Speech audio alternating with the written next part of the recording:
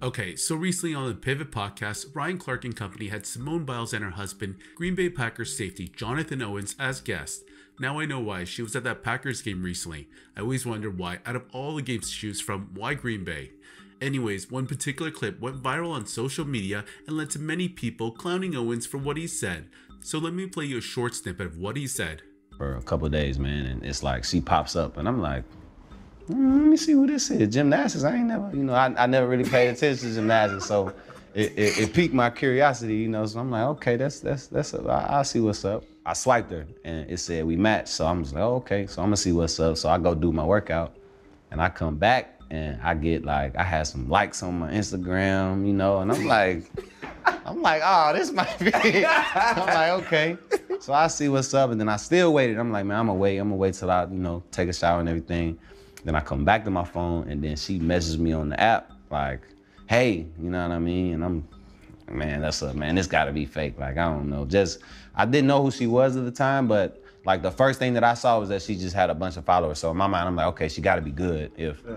I promise you, I'm a, I'm a real life story. When she won the Olympics, I was in college, and we didn't have NBC, we didn't have Olympic channels, and we're in camp. We're in camp late, late, late July, early August. So I'm not paying attention to, you know. So I never would have had a moment to where I would have watched like, you know. Jonathan, I'm gonna let you finish your story, man. Continue. but like I was saying, man, she she messaged me. This was like a Tuesday and we we we were texting back and forth, and then we hung out Friday, man. And um, we couldn't do much as COVID happened, everything was shut down. So um, she came through down um, down to Houston. She lived in the suburbs, so she had to drive about 45 minutes to me. Um, then the rest is history, man. So so you was really the catch in. I always say we the men the catch, man. I always say we the catch, man. Yeah, so she really booked you. She did though. She is did, what you said. Cause I I was fighting it. I was fighting it. So I was you fighting it. so in truth if I say this out loud, was Jonathan Owens ain't really want Simone Biles. Is at, what you're saying. At the time, that's what I, you're not gonna say that. That's what you're saying. I was afraid.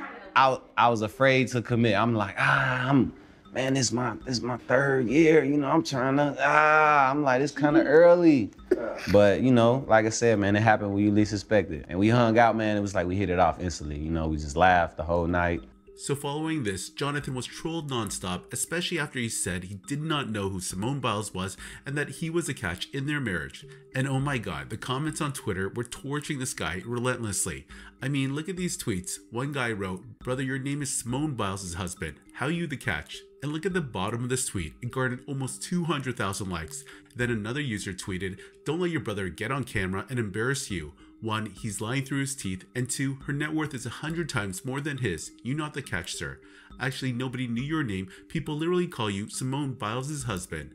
And if that wasn't bad enough, you even had mainstream media jumping in on the trolling, as in their articles, they continue to refer to Jonathan Owens as Simone Biles' husband.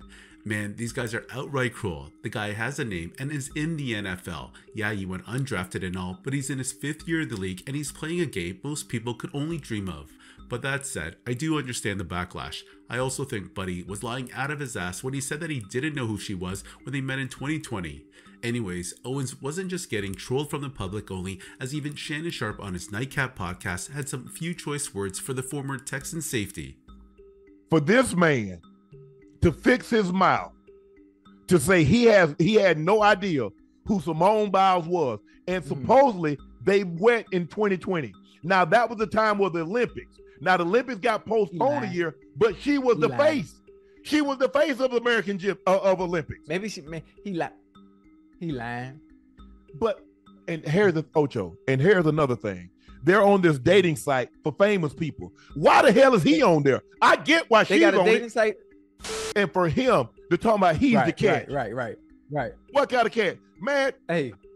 I, I get it. I, I get it because look here.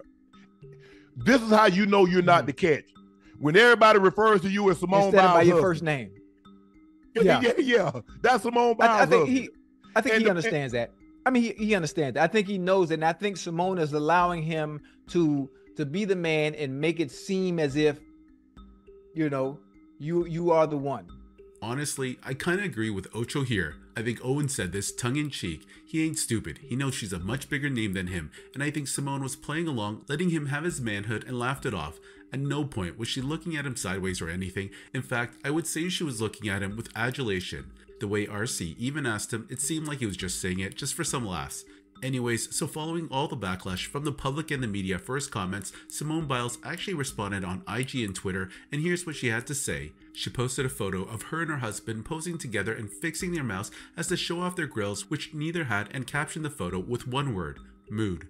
Then on Twitter, she posted a tweet after her husband was trending on there for the last couple days and asked the public, Are y'all done yet? I'm pretty sure she was sick and tired seeing her husband being clowned and thought enough was enough, and this ultimately led Ryan Clark on his podcast to address all the backlash that was directed towards Jonathan Owens, and here's that clip. I hate that we have to start the show this way today, but this is what it is. So no pristine shots, no great camera angles, just me talking about Jonathan Owens and having to defend him for something he doesn't or shouldn't need defending for.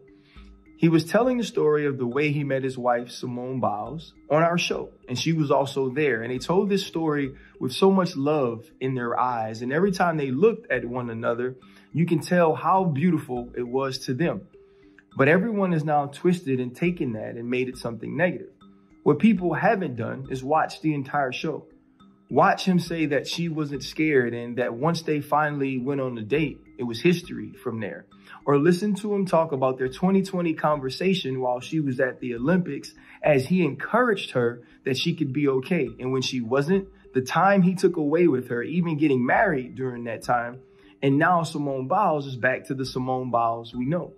He talked about the way Simone Biles has changed his life, how much she has helped him, how much their love and their journey and their story is all tied together. So what has happened is people sitting in their homes, whether married or unmarried, are now worried about this man and his relationship.